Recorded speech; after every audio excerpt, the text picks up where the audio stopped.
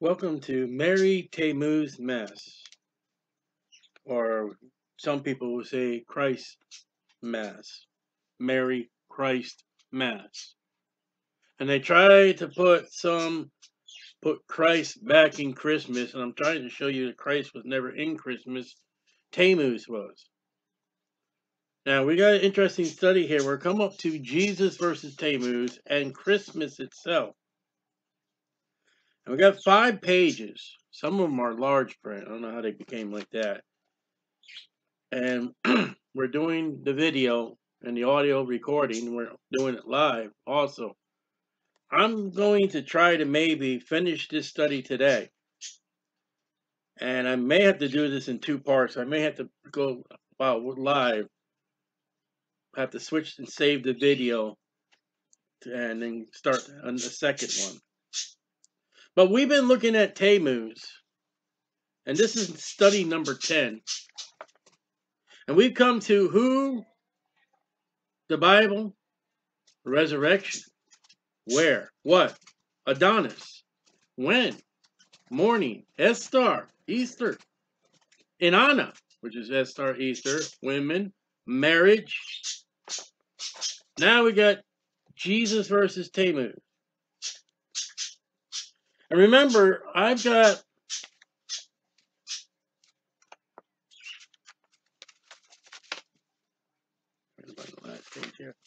I've got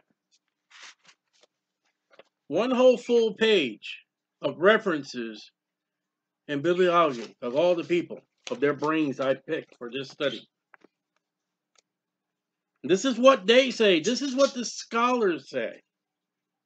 And there's any problems with, with what we have done, you can go to our, our webpage and you can download this copy for Word document or uh, whatever you can do.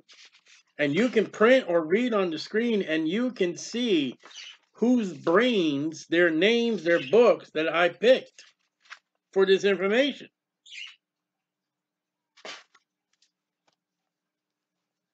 This is the scholars. So Jesus versus Tammuz. Jesus and the Akkadian, A-K-K-A-D-I-A-N God, Tammuz, were both referred to as shepherds. Tammuz was called the shepherd of the sheep, and Jesus was the shepherd of men. They're both shepherds. One's the shepherd of God, and one is the Antichrist shepherd. Both of them have sheep. John chapter 10, Jesus said his sheep are the Israelites, and other sheep, the Gentiles, would be the church. They were both associated with dying and rising again, and we studied that.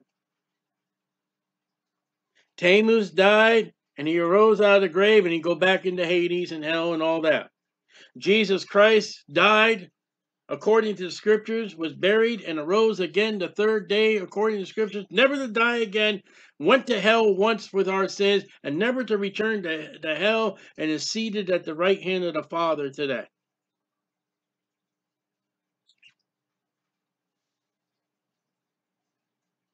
So we got an artificial shepherd, we got a real shepherd, we got an artificial death and resurrection, and we got the real death and resurrection. We got a copycat, we got an antichrist. This is the Christ you want to put back in Christmas, and not Jesus Christ, the Antichrist of Tammuz. Remember, Mary Christ Mass. M A R Y C H R I S T M A S S. And if you really want to put Christ back in Christmas, call it the Antichrist. Merry Anti-Christmas.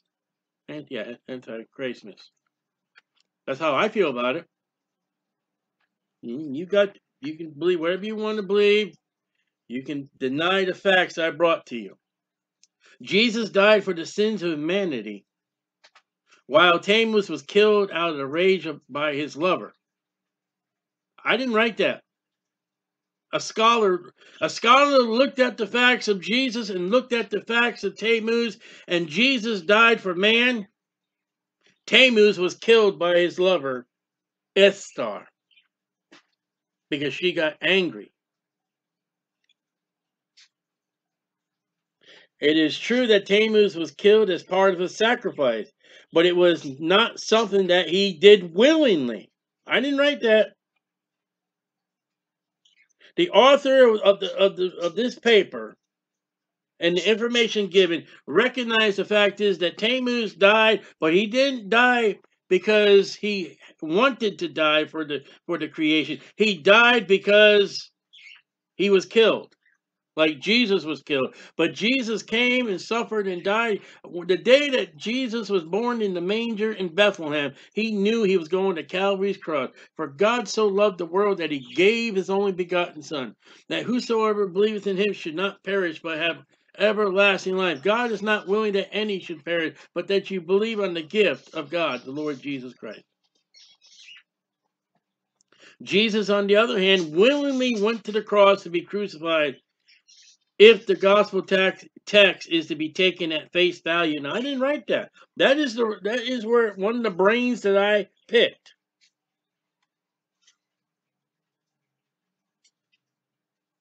Now, the writer of, of this thing, uh, some of the writer, it, it's remarkable. The fact is that they're agnostic. Well, we're not really sure. And in their agnostic view of God and Jesus and Tammuz, they recognize a fact. Tammuz did not die willingly, Jesus did. They were both killed, but one of them was killed for the sacrifice of creation for man. The other one was killed because of lover's revenge. Another difference is Tammuz appears to only save people from a physical starvation and death. Remember, Tammuz is associated with crops. Easter is associated with crops. Tammuz can, can help you if you're starving. But he cannot help you eternally. He cannot get you in and out of hell. He did not save people from sin or judgment for disobedience to God or God. Again, I did not write that. An agnostic wrote that, or a Christian wrote that, and they're saying, as far as Tammuz and Jesus, Jesus died to save people. Tammuz has no eternal saving power at all. Tammuz offered material prosperity in the present life, healthy flocks, and plentiful crops. Jesus, however, offers spiritual renewal, eternal life after a final bodily resurrection. Now, that was written by a Christian. Tammuz has a God can give you, while you're living, healthy flocks, plenty of corn. Jesus Christ can offer you eternal life. And he can give you spiritual blessings. Both to the just and unjust, the Bible says he gives rain. Jesus promised eternal life while Tammuz promised a material materially abundant. But still, he has no power of life to those that worship him. Jesus promises eternal life. Tammuz can't offer that promise. That's that's differences between Jesus and Tammuz. But they got some similarities. But similarities end at eternal life. All right, so Christmas. We're at Christmas. And we have how many points? So we may have to go may do do a part two. I want to finish this study up. We've got mm, 12 points with points within points. So I think, you know what? I'm going to stop right there. I think that's good enough right there. I'm not going to, uh, Lord willing,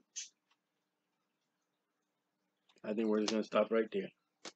Jesus versus Tammuz. I think that's a good stopping point.